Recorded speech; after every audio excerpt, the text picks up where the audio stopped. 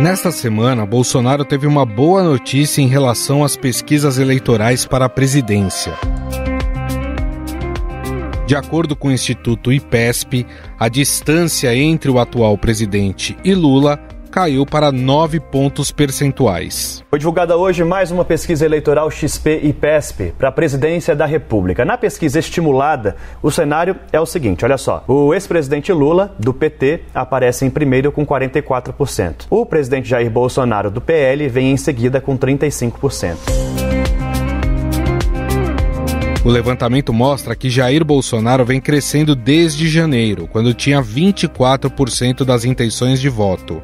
A pesquisa IPESP consultou 2 mil eleitores por telefone entre os dias 20 e 22 de julho.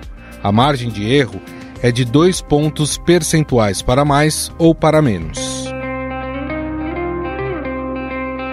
O agregador de pesquisas do Estadão, que reúne todos os levantamentos e, através de uma metodologia, tira uma média das intenções de voto, também registrou esse crescimento em janeiro, a diferença entre os dois era de 24%. Hoje, a vantagem do petista caiu para 14%. Semana passada, a pesquisa Poder Data também registrou um aumento nas intenções de voto de Bolsonaro. A diferença, que já foi de 10 pontos em junho, caiu para 6 em julho uma pesquisa do Poder Data mostrando Lula novamente aí na frente, né? Segue, né, em primeiro, oscilando de 44 para 43% na comparação com o levantamento de duas semanas atrás. O presidente Jair Bolsonaro flutuou um ponto para cima, de 36 para 37%. Outro dado animador para Bolsonaro é a redução da sua rejeição perante o eleitorado. De acordo com pesquisa da Quest, os que não votariam no atual presidente passou de 66% para 59%. A pesquisa também trouxe rejeição e mostra que a maior rejeição é de Bolsonaro. 59% não votariam em Bolsonaro de jeito nenhum, 52% não escolheriam Ciro na pesquisa anterior, nesse subiu para 55%, rejeição de Ciro Gomes subiu, e a de Lula uh, subiu um ponto percentual também, dentro da margem de erro, 41%. De acordo ainda com o Instituto, Bolsonaro melhorou suas intenções de voto no Sudeste e no Nordeste. Nesta última região, a queda foi de 16 pontos percentuais. Ainda assim, Lula tem uma grande vantagem. 59 contra 22%. Que Lula tem liderado na região Nordeste. Mas foi a região em que houve maior variação, maior redução da distância que, de uma pesquisa para outra, de um mês para outro. Claro, tem a gente, mesmo fazendo as ponderações eh, de margem de erro, que aumenta um pouco mais, mas mesmo assim, o presidente Jair Bolsonaro tirou 16 pontos. Esse crescimento no Nordeste coincide com a série de viagens que Bolsonaro fez à região, marcando presença em tradicionais festas de São João. Hoje ele vai para Campina Grande, ontem ele esteve em Pernambuco, lá onde a festa recebe por dia 100 mil pessoas. O crescimento de Bolsonaro coincide também com a aprovação da chamada PEC das Bondades Agora, em agosto, o governo começa a pagar o Auxílio Brasil de 600 reais, além do voucher para caminhoneiros e o Vale Gás. O calendário de pagamentos do Auxílio Brasil de agosto foi antecipado. Em vez do dia 18, os pagamentos vão começar no dia 9. A medida foi publicada no Diário Oficial da União de hoje. A partir de agosto, a parcela mínima do benefício passa de 400 para 600 reais. No entanto, a maior mudança ocorreu no estado de São Paulo. Segundo o Instituto Quest, a diferença entre Lula e Bolsonaro foi de 14 para 5 pontos entre março e julho. E a maior mudança aconteceu em São Paulo, onde a vantagem do ex-presidente Lula caiu de 14 para 5 pontos no período. No Rio de Janeiro, a vantagem do petista foi de 8 para 5 pontos. Em Minas Gerais, Lula mantém uma distância de 18 pontos contra Bolsonaro.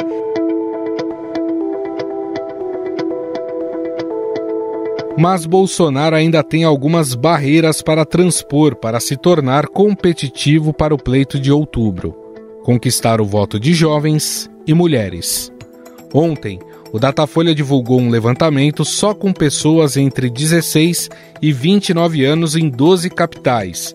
Dos quase mil entrevistados, 67% disseram rejeitar o atual presidente, enquanto somente 32% disseram não votar em Lula. 55% dos jovens classificam o governo Bolsonaro como ruim ou péssimo. Entre as mulheres, a pesquisa IPESP mostrou que Bolsonaro ainda enfrenta a grande rejeição do público feminino. 48% das mulheres entrevistadas disseram preferir Lula, enquanto 30% dizem que votariam no atual presidente. A maioria das mulheres brasileiras de todas as classes sociais não votaria em Jair Bolsonaro nas próximas eleições. A intenção de voto em Bolsonaro entre as mulheres em todas as faixas de renda é sempre numericamente inferior à registrada entre os homens, tanto na pesquisa espontânea quanto nas estimuladas de primeiro e segundo turno. Até por isso, a campanha de Bolsonaro começou a explorar a imagem da primeira-dama Michele, para tentar atrair o público feminino. Uma demonstração dessa nova tática se deu na convenção que lançou oficialmente a candidatura do presidente. Falam que ele não gosta de mulheres. E ele foi o presidente da história que mais sancionou leis para as mulheres, para a proteção das mulheres. Esse é o presidente que falam que não gostam de mulheres, que não gosta de mulheres. Em reportagem, o Estadão apurou que apenas 46 leis que beneficiam as mulheres foram aprovadas e nenhuma dessas propostas foi de autoria do governo. Bolsonaro ainda vetou seis projetos para o público feminino.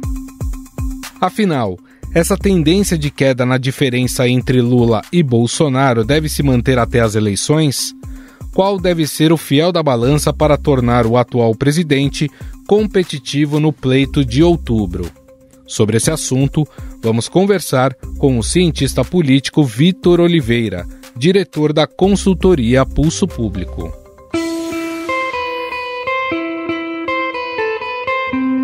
Tudo bem, Vitor? Tudo bom, Gustavo? Prazer falar contigo e com todos os ouvintes do, do Estado Notícias. Bom, Vitor, apesar da diferença de Lula nas pesquisas ainda ser muito grande, é possível ver que essa diferença ela está diminuindo com o passar do tempo. É possível dizer que essa é uma tendência que vai se manter com o começo da campanha eleitoral?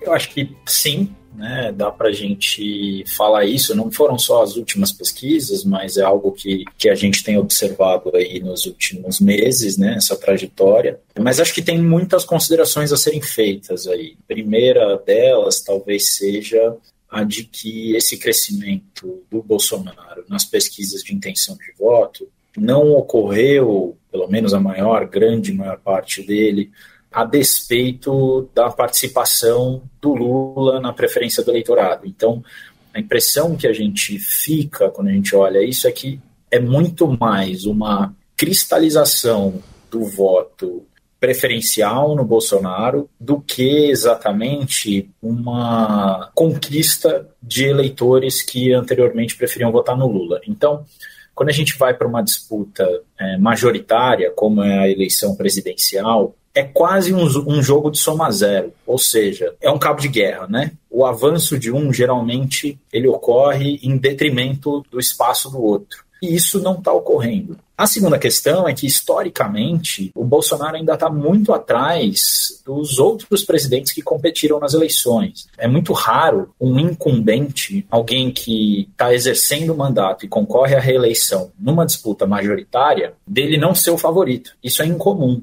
Agora, um terceiro aspecto é que a gente não vê uma diminuição ainda considerável para patamares competitivos da rejeição. Uhum. Né? E esse uhum. talvez seja o maior gargalo aí da candidatura do Bolsonaro. Mas é fato que, sim, ele diminuiu a vantagem do Lula. Uh, agora, é importante a gente não olhar só a fotografia, né? a gente tem que olhar a dinâmica do, do jogo. É, você citou aí um, um, exemplo bem claro, né, que é essa questão da rejeição do Bolsonaro, né, que ela ultrapassa os 50%, né. Isso, de certa forma, acaba virando um impeditivo para ele, pensando em melhorar seu, os seus números nas pesquisas eleitorais? Com certeza, né? A gente compara aí o patamar de rejeição dele com o patamar de rejeição do Lula, que também não é que é um candidato com pouca rejeição, é que a comparação aí é, é entre os dois, né? Cabeça a cabeça. E desse ponto de vista, o, o Lula apresenta aí condições que nesse momento deixam ele melhor posicionado para levar essa eleição. Agora, a gente precisa também entender que essa campanha Cada vez mais as campanhas no Brasil vão ser desse jeito, pelo menos enquanto houver eleições, né? Esperamos que assim continuemos por muito tempo. Mas que as campanhas no Brasil vão passar a trazer a disputa entre os candidatos, não apenas pela preferência do eleitorado, mas pela mobilização do eleitorado. E essa mobilização, ela é um fator novo e que não está exatamente refletido nas pesquisas de intenção de voto. Né? As pesquisas de intenção elas mostram a preferência, mas elas não mostram exatamente a disposição e a probabilidade de cada grupo votar no seu candidato preferido. Embora o voto no Brasil ainda seja, do ponto de vista formal, obrigatório, é, a gente está evoluindo para um, ou estamos indo em direção né, a um modelo de eleições em que esse voto é cada vez mais facultativo, ou percebido como facultativo. Né? O custo de não votar ele é baixo, ele obviamente é maior para alguns grupos sociais do que para outros, mas o voto no Brasil é praticamente, eu costumo chamar de optatório. Uhum. Né? Assim, a gente tem uma grande facilidade para o eleitor que não quer votar, não votar. Isso significa que os candidatos têm o desafio não apenas de convencer o eleitorado, convencer uma fatia maior do eleitorado, mas convencer a fatia maior do eleitorado que vai efetivamente depositar seu voto nas urnas. Então, isso é algo que altera um pouco a dinâmica do jogo e talvez explique o foco tão grande que as campanhas, especialmente do Bolsonaro, têm tido em é, mobilizar o seu eleitorado em detrimento de conquistar o eleitor do, do candidato adversário. Isso a pesquisa não mostra, para usar o jargão, né? mas sem fazer piada, é muito provavelmente um fator decisivo e que resvala na intensidade da preferência dos eleitores e, e no quanto eles estão dispostos a gastar seu tempo para fazer com que seu voto valha. E isso vale, inclusive, para grupos que tradicionalmente comparecem menos, que são, a gente sabe no Brasil por algumas pesquisas que costumam ser feitas após as eleições, que, por exemplo, grupos mais jovens, os eleitores mais jovens e os eleitores mais velhos são os eleitores que menos comparecem. Tem uma questão de, de renda, o eleitorado que tem mais renda comparece menos do que o eleitorado que tem menos renda. Então, assim, a gente tem algumas questões que podem afetar aí bastante o desempenho, além de outras questões que não estão refletidas na pesquisa de intenção de voto e que a gente precisa pensar sobre elas. Sim. Que é, por exemplo, a vergonha que o eleitor talvez tenha de, ao ser perguntado qual o seu voto, de responder sua preferência sincera. A gente não sabe até que ponto isso é de fato uma questão. Né? Por exemplo, é, tem muita gente que, que de repente, na, nas eleições de 2018, diz que votou no Amoedo, mas na verdade votou no Bolsonaro. Uhum. Ou diz que votou no Ciro e na verdade votou no Haddad. Então a gente não sabe exatamente se essa dinâmica está influenciando também no que as pesquisas dizem. Falando dessas barreiras, dessas rejeições que Bolsonaro tem, tem duas aí muito explícitas, né? Uma, o eleitorado feminino, que majoritariamente prefere Lula. E nesta quarta-feira saiu Datafolha, uma pesquisa com pessoas entre 16 e 29 anos, né, em 12 capitais do país, e a grande maioria prefere Lula a Bolsonaro. O partido de Bolsonaro, a campanha de Bolsonaro, né, começou a usar uma tática que é a de utilizar a primeira dama para tentar humanizar o Bolsonaro para que ele tenha aí uh, entrada nesses dois grupos. Essa estratégia pode dar algum resultado ou esse eleitorado já está muito consolidado sobre o que quer? mesmo que o eleitorado esteja muito consolidado, a disputa na eleição é um cabo de guerra. Quando a gente está olhando esses grupos, ou a gente está olhando, por exemplo, regiões, né, é muito comum a gente ver a imprensa às vezes tratar isso de uma maneira como ah, o Lula está ganhando no Nordeste, então o Bolsonaro vai abandonar a eleição no Nordeste. Ele não pode fazer isso. Pelo menos não do jeito que a gente costuma ver nos filmes sobre as eleições americanas. A eleição no. Brasil é diferente. Cada voto conta, não importa de onde ele vem. Se um candidato abre demais em um determinado lugar, o esforço que o outro candidato vai ter que fazer para recuperar no, na outra localidade em que ele vai bem é muito grande, porque ele vai ter que compensar aqueles votos, né? Não tem como. Então, assim, tem, tem algumas dinâmicas que às vezes são subestimadas aí. Então, por mais que o Bolsonaro esteja ruim, por exemplo, no voto feminino, ele precisa diminuir a diferença para o Lula. Não é uma questão de o Bolsonaro vai ganhar o voto das mulheres, mas ele precisa, do ponto de vista estratégico, diminuir a diferença para se tornar mais competitivo. A mesma coisa com relação ao eleitorado jovem. Uh, embora essa questão do eleitorado, essa pesquisa, por exemplo, ela foi feita em capitais, e a gente precisa também entender um pouco o que, que é a dinâmica das cidades, desse eleitorado urbano, as cidades médias, o que seriam cidades grandes em qualquer outro lugar do mundo, provavelmente, é, mas essas cidades, especialmente que estão no centro-oeste, estão no interior dos estados do sudeste, do sul, são cidades que estão muito associadas ao agronegócio, que estão muito associadas a, a outros grupos de interesse e outras visões também, outra cultura política, que deixa elas mais próximas do que seria o bolsonarismo do que especificamente esse eleitorado dos grandes centros urbanos, das capitais especialmente. Né? Então a gente tem que tomar um pouco de cuidado para fazer afirmações gerais com relação a, a, essa pesquisa.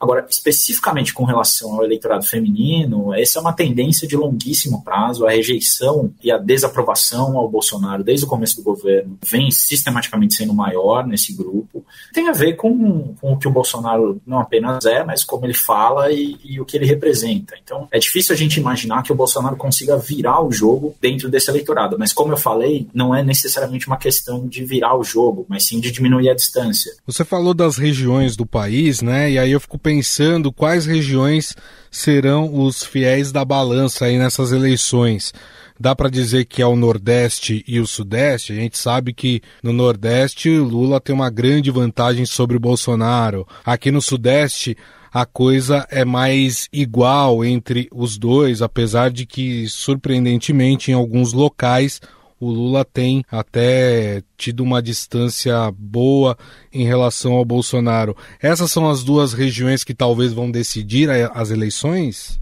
Tem a resposta informada e tem a resposta palpiteira para essa questão que você me faz. a resposta, vamos dizer assim, mais de acordo com o manual, é dizer que Minas Gerais é o fiel da balança. Né? Minas Gerais, tradicionalmente, é o que pende sempre a favor da presidência, de quem vence a eleição presidencial. Ganhar em Minas Gerais é muito importante. Tem algumas explicações, por exemplo, que dizem que Minas consolida um pouquinho do Brasil em cada pedaço. Né? Você tem ali o Jequitinhonha, mais ao norte, você tem o sudeste e sul do estado ali é, na Mantiqueira, que parece mais com os estados do Sudeste, você tem ali um pedacinho do que seria mais próximo do Centro-Oeste, enfim. A ideia é que Minas Gerais é esse coração do Brasil, mas também é muito representativo de diversos Brasis. E nesse sentido, o Bolsonaro está muito mal, né? É, Minas Gerais talvez seja a pior notícia do, do, Bolsonaro nessa eleição, mas é muito difícil ganhar a eleição presidencial sem ganhar Minas, tanto pelo tamanho quanto por conta do que isso significa, né? Porque provavelmente se você está mal em Minas, você está muito pouco competitivo em várias outras regiões, né? Então aquele negócio que eu estava falando da diferença, né? Você pode perder no Nordeste para o Lula, por exemplo, no caso do Bolsonaro. Isso não significa que ele vai ser derrotado. Ele perdeu para o Haddad também. Mas você não pode estar numa distância grande o suficiente para te tornar pouco competitivo. E, obviamente, você tem aí uma questão de colégios eleitorais que é, são maiores, né? Então, São Paulo, Rio de Janeiro, obviamente.